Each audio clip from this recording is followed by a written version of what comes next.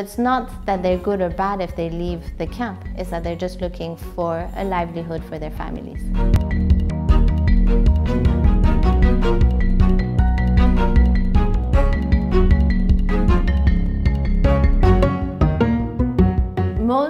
Of the migration that you'll see in the world is south-south, meaning it stays in the regions of the conflicts from which people flee. The numbers of people you see in Europe are a very, very small percentage of the actual migration in the world.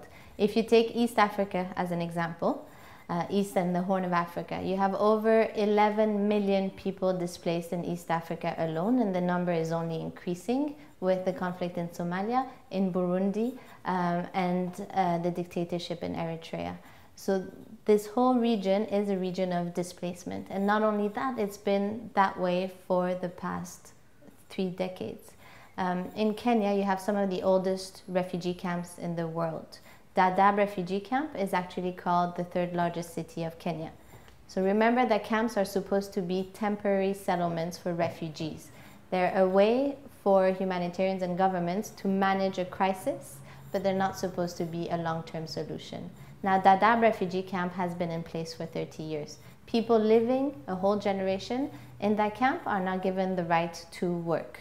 So they can go to school uh, and they have better schooling there than they can have in their country of origin, being Somalia, for instance, but they don't have a right to work. So it's not that they're good or bad if they leave the camp, it's that they're just looking for a livelihood for their families.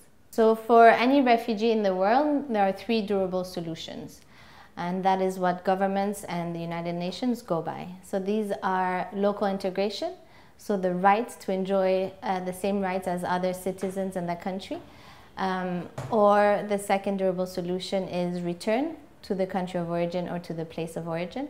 And the third solution is resettlement, so being relocated in another part of one's own country or being relocated to a third country.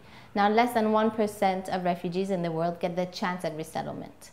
Most actually want to locally integrate but are not given the opportunity to. What does that mean?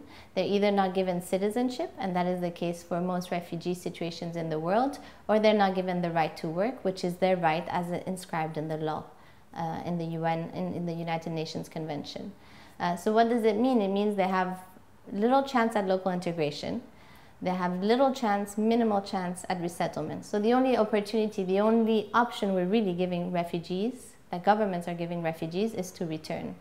So if the return is to Somalia, to Afghanistan, to Eritrea, where your life will be at risk, obviously that will not be the choice you'll make. So with basically no other option, people will leave. And there's no legal recourse for them to leave.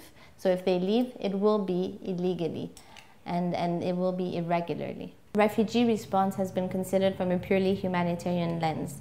So when people think of refugees, they usually think of the World Food Programme's bags of wheat arriving in a refugee camp. Uh, they think about the makeshift uh, UNHCR tents. They don't think of anything sustainable, durable, or long term. Actually, if you look at real day-to-day -day pictures of refugee camps, they're like cities. Why? Because they've become long-term protracted living situations. And so this means that actually what happens in reality isn't what was planned for. What we need is to go beyond the humanitarian lens to look at the development lens, get the private sector involved, get uh, foundations involved, get people outside of the usual humanitarian small circle uh, to looking at refugees as actors of economic change in their countries of, of displacement.